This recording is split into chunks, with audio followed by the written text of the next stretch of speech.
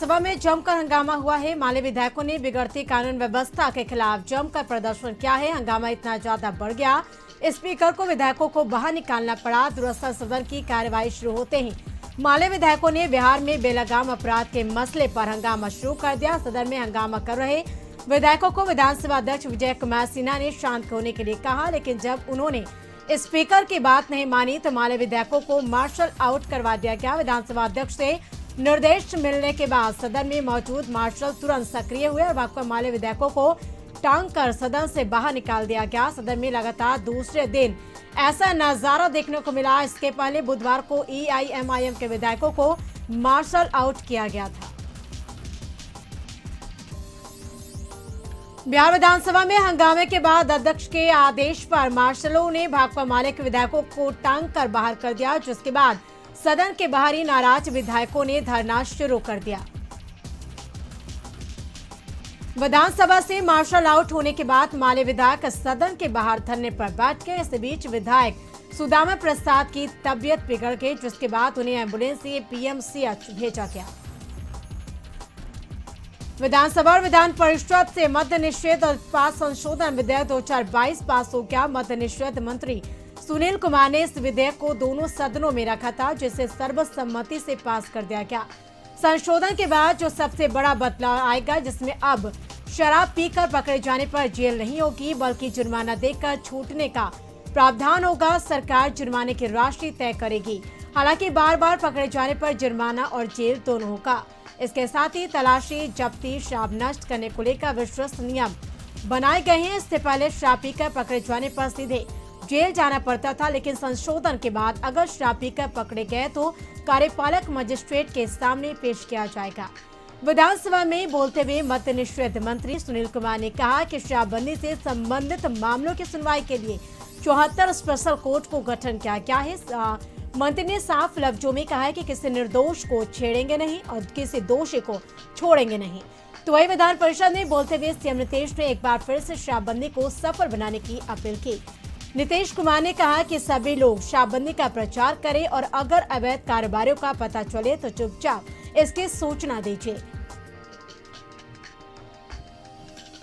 खबर दानापुर के फुलवारी शरीफ से है, जहाँ बामेती में ग्रामीण आजीविका में सुधार एवं सुरक्षा के लिए प्रौद्योगिकी विषय पर आयोजित दो दिवसीय किसान मेला कृषि प्रदर्शनी में बिहार के राज्यपाल फागू चौहान पहुँचे। यहाँ पहुँचने के बाद ही किसानों के लिए आयोजित इस मेले का रिबन काट कर विधिवत शुरुआत की, साथ ही उन्होंने सभी कृषि काउंटर पर जाकर मुआयना भी किया। और इसके बाद बामेती के सभागार में बिहार कृषि विश्वविद्यालय सबौर भागलपुर के द्वारा आयोजित किसान मेला दो हज़ार बाईस कार्यक्रम में शामिल होकर के यहाँ उन्होंने अपने विचार रखे। राज्यपाल ने कहा कि बिहार कृषि के क्षेत्र में छह बार देश में बेहतर प्रदर्शन बिहार प्रदेश कर चुका है और बिहार कृषि के क्षेत्र में आगे भी बढ़ रहा है। ऐसे में बिहार के कृषि वैज्ञानिकों का भी बहुत बड़ा सहयोग है।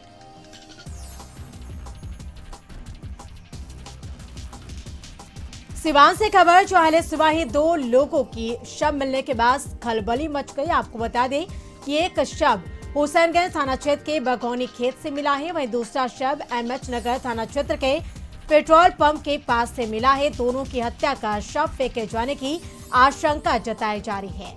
हुसैनगंज थाना क्षेत्र के बगौनी में मिलने वाला शव कुख्यात अपराधी बगौनी पंचायत की मुख्य पति विश्वकर्मा बिंद है। वही एमएच नगर थाना क्षेत्र के पास मिलने वाला शव विश्वकर्मा बिंद के भगिना की है। इधर दोनों शव मिलने के बाद पूरे इलाके में खलबली मच गई। पुलिस दोनों शव को कब्जे में कर जाँच में जुट गई है। इधर पुलिस डबल मर्डर के गुत्थी को सुलझाने में सुबह से लगी हुई है। लोगों से पूछताछ भी कर रही है।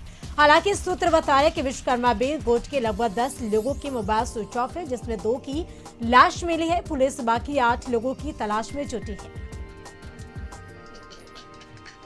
भागलपुर में नवगछिया के विपुर थाना के सोनवर्षा वार्ड नंबर पाँच, तीन कुटी टोला से एसआई के बेटे रोहित का शव बरामद हुआ है। एसआई के बेटे का शव बबन गामा भैया के एक गेहूँ के खेत से बरामद किया गया है। लोगों ने युवक का शव देखने के बाद सूचना दी। मृतक रोहित की माँ मंजू देवी और भाई चंदन कुमार ने शव की शिनाख्त की। रोहित के गर्दन पर जख्म और शरीर के अन्य हिस्सों पर पिटाई के निशान। है इधर वीरपुर पुलिस ने मामले में पूछताछ के लिए गाँव के दो युवकों को हिरासत में लिया है। बताया जा रहा है कि सोमवार की रात रोहित घर से निकला था और ग्यारह बजे रात को रोहित ने अपनी बहन को एक ऑडियो मैसेज भेज कर कहा कि वह जमुई में है और उसका अपहरण हो गया है। अपराधियों ने 45 लाख रुपए फिरौती मांगने की बात रोहित ने कही थी। वीरपुर थानाध्यक्ष राजकुमार सिंह ने बताया कि मामले में हत्या का केस दर्ज किया जाएगा। व शव को पोस्टमार्टम के लिए भेज दिया गया है। घटना में जो भी शामिल है उसे छोड़ा नहीं जाएगा।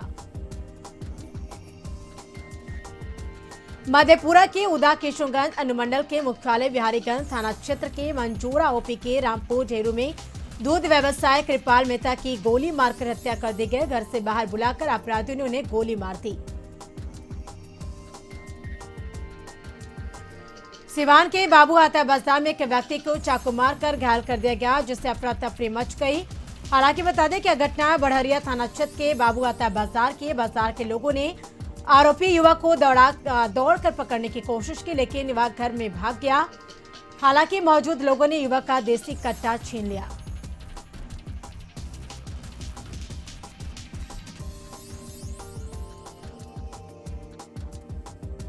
पास के बाद राज्य में सरकारी अस्पतालों में व्यवस्था तेज़ी से सुधरी है। प्रत्येक वर्ष हज़ारों करोड़ रुपए मेडिकल सुविधा पर खर्च करने का दावा किया जाता है, लेकिन क्या वाकई में जनता को इसका लाभ मिलता है?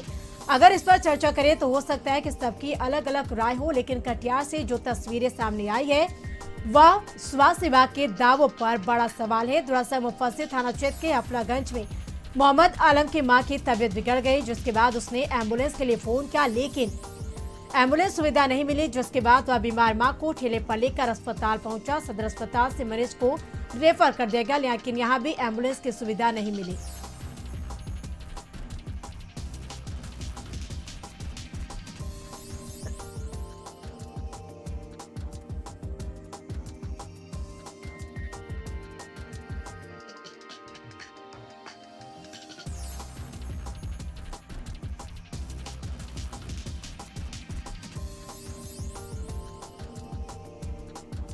बेगूसराय में शराबबंदी के बीच शराब तस्कर ट्रेन से लगातार शराब की तस्करी कर रहे हैं। इसी में बरौनी जीआरपी ने जम्मू तभी अमरनाथ एक्सप्रेस ट्रेन से लावारिस अवस्था में रखे दो बोरों में 50 बोतल। विदेशी शराब बरामद किया है। शराबबंदी के बीच लगातार ट्रेन से शराब तस्करी की शिकायत पर बरौनी जीआरपी, बरौनी जंक्शन पर आने वाले ट्रेनों में सघन छापेमारी अभियान चलाती है और इसी क्रम में जम्मू तवी अमरनाथ एक्सप्रेस ट्रेन के कोच डी टू में छापेमारी चल रही थी। छापेमारी के दौरान जीआरपी ने शौचालय के ऊपर दो बोरा में भरकर शराब की बोतल रखी थी, जिसे जीआरपी ने जब्त किया। अंतर्राष्ट्रीय पर्यटन स्थल राजगीर के नेचर सफारी में एक बड़ा हादसा टल गया। नेचर सफारी में बने जीप लाइन में एक महिला पर्यटक जीप लाइन में रेसिंग कर रही थी। इसी दौरान जीप लाइन के दूसरे छोर के सेफ्टी टावर पर कोई भी वनकर्मी मौजूद नहीं था, जिसके कारण रेसिंग करती महिला पर्यटक के साथ हादसा होते होते टल गया। मामला हुआ यूँ कि महिला पर्यटक एक छोर से दूसरे छोर पर जीप लाइन के माध्यम से पहुँची, मगर टावर पर कोई भी कर्मी नहीं रहने के कारण महिला टावर से टकराते हुए वापस लौटी और बीच में फंस गई। जहाँ आनंद फानन में अन्य पर्यटकों की मदद से उसे नीचे उतारा गया इस मामले में वन विभाग के अधिकारी कुछ भी बताने से परहेज कर रहे हैं। मधेपुरा ज़िले के ग्वालपाड़ा में जीविका एवं भारतीय स्टेट बैंक के संयुक्त तत्वाधान में वित्तीय समावेशन शिविर का आयोजन किया गया जिसमें प्रखंड की गरीब दीदियों को स्वरोजगार एवं अन्य जीविकोपार्जन गतिविधियों के लिए उनतीस स्वयं सहायता समूहों के बीच कुल एक करोड़ एक लाख रुपए का ऋण वितरण किया गया। इस कार्यक्रम में भारतीय स्टेट बैंक के क्षेत्रीय कार्यालय से प्रबंधक हिंदू हंसता जीविका के सलाहकार राजेंद्र साहू उपस्थित हुए एवं डमी चेक के माध्यम से अनुमोदित रकम जीविका दीदियों को समर्पित किया।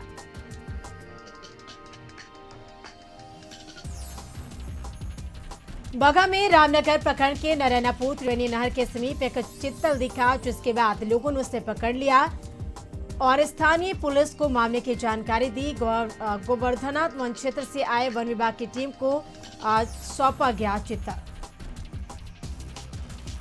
मुंगेर के जिलाधिकारी ने पंचायतों का दौरा कर विकास कार्यों का जायजा लिया और दिशा निर्देश दिए। डीएम नवीन कुमार दलबल के साथ पहुँचे मुंगेर मुख्यालय से चार किलोमीटर दूर जानकी नगर पंचायत पहुँचे, ग्रामीणों से मिल, उनकी समस्याएँ जानी।